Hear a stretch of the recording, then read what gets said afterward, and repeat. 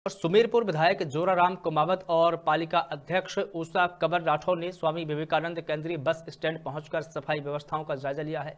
नगर पालिका ईओ ओम प्रकाश दाधीच सांसद प्रतिनिधि अनूप सिंह, राठौर के साथ सुशासन दिवस के दिन से चलाए जा रहे सफ़ाई अभियान का निरीक्षण किया। मौके पर मौजूद स्वास्थ्य निरीक्षक यशवंत परिहार को सफ़ाई व्यवस्था पर विशेष ध्यान देने और शहर को साफ़ सुथरा बनाने के निर्देश दिए हैं।